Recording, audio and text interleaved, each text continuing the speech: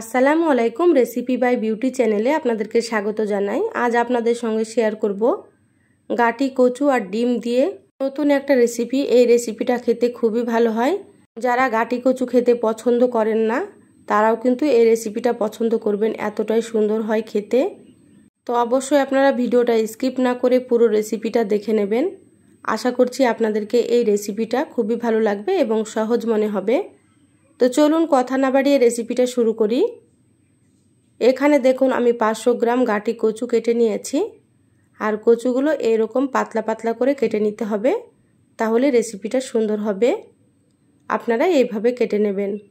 কচুগুলো কেটে নিয়েছি, তারপরে কয়েকবার পানি পাল্টে খুব ভালোভাবে ধুয়ে নিয়েছি, তারপরে পানিটাকে ঝরিয়ে নিয়েছি। কচু খুব ভালোভাবে ধুয়ে পরিষ্কার করে নিতে হবে, কারণ কচুতে অনেক বালি থাকে।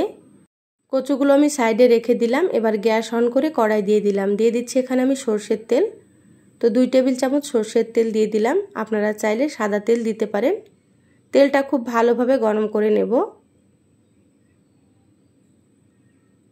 দেখুন, তেল গরম হয়ে গিয়েছে। এবার এখানে আমি কচুগুলো দিয়ে দিচ্ছি।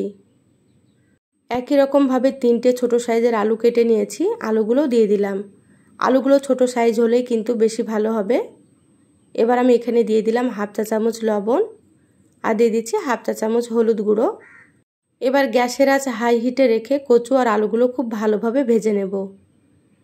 কচু আর আলু ভেজে নিলে কিন্তু রান্নাটা খেতে বেশি ভালো লাগবে আর কচুর আঠালো ভাবটাও চলে যাবে। তো যারা ভিডিওটি ইউটিউব থেকে দেখছেন, প্লিজ চ্যানেলটা সাবস্ক্রাইব করে চ্যানেলের সাথেই থাকবেন। বেল বাটন অন করে রাখবেন, তাতে করে আমি যখনই ভিডিও আপলোড করব আপনারা সবার প্রথমে নোটিফিকেশান পেয়ে যাবেন। যারা ফেসবুক পেজ থেকে ভিডিওটি দেখছেন প্লিজ লাইক দিয়ে পেজটা ফলো করে রাখবেন। দেখুন, কচু আর আলুগুলো খুব ভালোভাবে ভেজে নিয়েছি, ভাজা হয়ে গিয়েছে। এবার আমি তুলে নিচ্ছি। আপনারা কিন্তু এইভাবেই ভেজে নেবেন। কচু আর আলুগুলো প্লেটে রেখে দেব। এবার আমি ওই তেলের মধ্যে দিয়ে দিচ্ছি দুটো ডিম। ডিম দুটো আমি বাটিতে ভেঙে নিয়েছি। এবার আমি এখানে দিয়ে দিচ্ছি সামান্য একটু লবণ। এখানে আমি দুটো ডিম দিয়ে দিলাম, আপনারা চাইলে দুটো বা তিনটে বা চারটে ডিমও দিতে পারেন। এবার লবণটা এভাবে করে একটু মিশিয়ে নিচ্ছি। ডিমটা আমি হালকা করে ভেজে নেব। খুব বেশি কড়া করে ভাজবো না, দেখুন গ্যাসের আঁচ লোতে রেখে ডিমটা ভেজে নিচ্ছি। আর একটু বড় সাইজের করে ঝুরি ঝুরি করে নেব।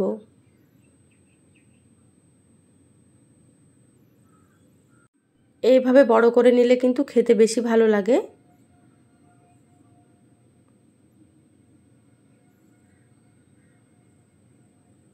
দেখুন, একেবারে হালকা করে ভেজে নিলাম। এবার আমি ডিমগুলো তুলে নেব।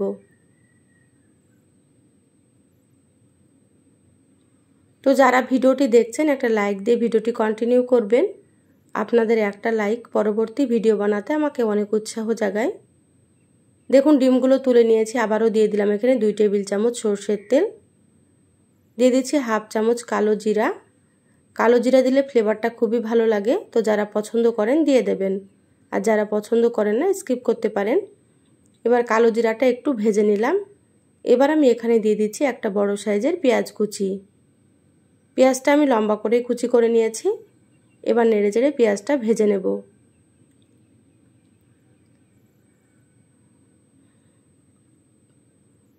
পেঁয়াজগুলো হালকা লাল করে ভেজে নিচ্ছি। দেখুন, ভাজা হয়ে গিয়েছে, এভাবে করে ভেজে নিতে হবে। এবার এখানে দিয়ে দিলাম এক চা চামচ আদা বাটা দিয়ে দিচ্ছি এক চা চামচ রসুন বাটা। একটা দিয়ে দিচ্ছি টমেটো কুচি, আর স্বাদ মতো দিয়ে দিচ্ছি লবণ। লবণ এখানে বুঝেই ব্যবহার করতে হবে, কারণ প্রথমে ভাজার সময় লবণ দিয়েছিলাম। এবার নেড়ে চেড়ে এগুলোকে একটু ভেজে নেব। আদা রসুনের কাঁচা গন্ধ চলে যাওয়া পর্যন্ত একটু ভেজে নিতে হবে। লবণ দেওয়ার কারণে টমেটো খুব তাড়াতাড়ি নরম হয়ে যাবে, সেজন্য আমি প্রথমেই দিয়ে দিলাম। মশলাটা ভেজে নেওয়া হয়ে গিয়েছে এইভাবে করে একটু ভেজে নিতে হবে। এবার আমি এখানে দিয়ে দিচ্ছি হাফ চা চামচ জিরা গুঁড়ো, হাফ চা চামচ দিয়ে দিচ্ছি ধনিয়া গুঁড়ো, হাফ চা চামচ দিয়ে দিচ্ছি মরিচ গুঁড়ো। এখানে আমি কাঁচা মরিচ ব্যবহার করব, সেজন্য এখানে হাফ চা চামচ দিয়ে দিলাম। আপনারা ঝাল বুঝে মরিচ ব্যবহার করবেন। হাফ চা চামচ এখানে দিয়ে দিচ্ছি হলুদ গুঁড়ো। সাত আটটা মতো দিয়ে দিচ্ছি কাঁচা পাকা মরিচ। এবার সামান্য পরিমাণে পানি দিয়ে মশলা খুব ভালোভাবে কষিয়ে নেব। আমি যতটা পরিমাণে রান্না করছি সেই পরিমাপে মশলাগুলো দিয়ে দিলাম। আপনারা যদি এর থেকে বেশি রান্না করেন তাহলে মশলার পরিমাণ বাড়িয়ে দেবেন। মশলাটা একটু সময় নিয়ে কষাতে হবে, তাহলে রান্নাটা খেতে বেশি ভালো লাগবে। দেখুন, মশলা প্রায় কষানো হয়ে গিয়েছে, মশলা থেকে তেল ছেড়ে দিয়েছে। আমি চার থেকে পাঁচ মিনিট মতো কষিয়ে নিলাম। এবার আমি এখানে দিয়ে দিচ্ছি ভেজে রাখা কচু আর আলু। মশলার সাথে খুব ভালোভাবে মিশিয়ে নেব। আমার চ্যানেলে আরও অনেক রেসিপি আছে, চাইলে আপনারা রেসিপিগুলো দেখে আসতে পারেন। কিছু রেসিপির লিঙ্ক আমি আই বাটনে দিয়ে দেব, আপনারা সেখান থেকেও দেখে নিতে পারেন। দেখবেন আমার রেসিপিগুলো আপনাদেরকে ভালো লাগবে। দেখুন, মশলার সাথে আবারও আমি দু মিনিট মতো কষিয়ে নিলাম। এবার আমি এখানে দিয়ে দিচ্ছি ভেজে রাখা ডিম। ডিমগুলো নেড়ে চেড়ে খুব ভালোভাবে মিশিয়ে নেব। আমি সবসময় আপনাদেরকে নতুন রেসিপি দেওয়ার চেষ্টা করি, তো আমার রেসিপিগুলো কেমন লাগে অবশ্যই কমেন্ট করে জানাবেন।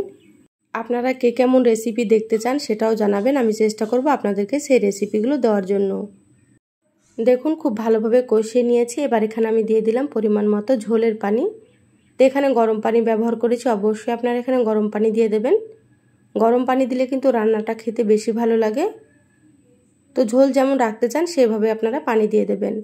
ঢাকা দিয়ে রান্না করে নেব দশ মিনিট মতো, ফিরে আসছি দশ মিনিট পর। দেখুন, দশ মিনিট পর ঢাকাটা খুলে নিয়েছি। আর ঝোলটাও অনেকটাই কমে গিয়েছে, আপনারা হয়তো দেখেই বুঝতে পারছেন। কচু আর আলুগুলো খুব ভালো মতো সেদ্ধ হয়ে গিয়েছে। এবার আমি এখানে দিয়ে দিচ্ছি সামান্য একটু গরম মশলার গুঁড়ো।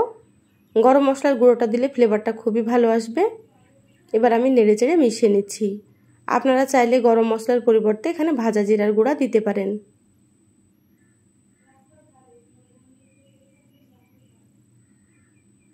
দেখুন মশলাটা খুব ভালোভাবে মিশিয়ে নিলাম। রান্না প্রায় হয়ে গিয়েছে, এবার আমি গ্যাস বন্ধ করে দেব। ঢাকা দিয়ে রেখে দেব পাঁচ মিনিট, তারপরে আপনাদেরকে আমি সার্ভ করে নিয়ে দেখাচ্ছি।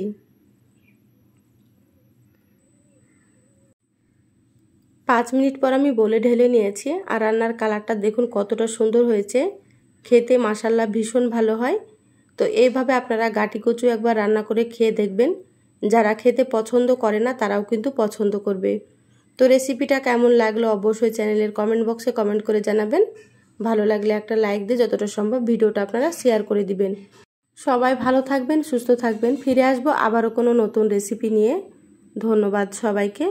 আল্লাহ হাফিজ।